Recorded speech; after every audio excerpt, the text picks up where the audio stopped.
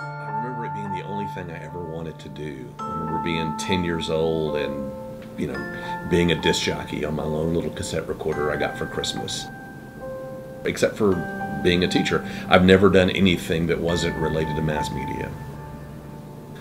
I'm Chris Roberts. I'm an associate professor of journalism and head of graduate studies, Department of Journalism and Creative Media at the University of Alabama, Roll Tide.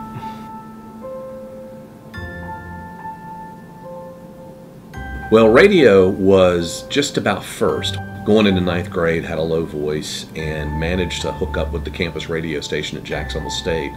I also wanted to write and rode my bicycle to the Jacksonville News, the little weekly newspaper in my hometown when I was 14. It occurred to me by my senior year of high school that news was where I wanted to focus. Being able to write is much more expressive. But the idea that the communication channel you use matters is awfully important. It was back in the 60s and 50s when Marshall McLuhan thought of that thing. And it really matters now that there are so many more mass communication channels. Uh, I teach a great big class of 225 students because that's how many the room will fit. And it's a performance. And it the, the challenges are changed daily when I was working for the Jacksonville News, I wrote for my Jacksonville audience. And I wrote things that people in other states would never see or never think about.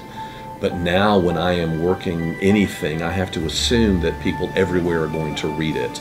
And as people bounce from place to place, our sense of community changes dramatically.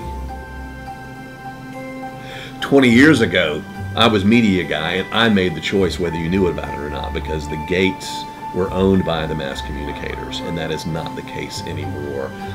I learned so much from students about what's going on. Um, they teach me phrases and words and their own approach to things. And as a professor, you've got to be a lifelong learner. I cannot stop. My job is to teach the fundamentals that will not change when it comes to ethics and the foundations of law and storytelling, regardless of the format. If you can do that, you can be a lawyer, you can be a professor, you can do lots of things. Uh, the skills that now I teach as a journalist work just about a lot of places.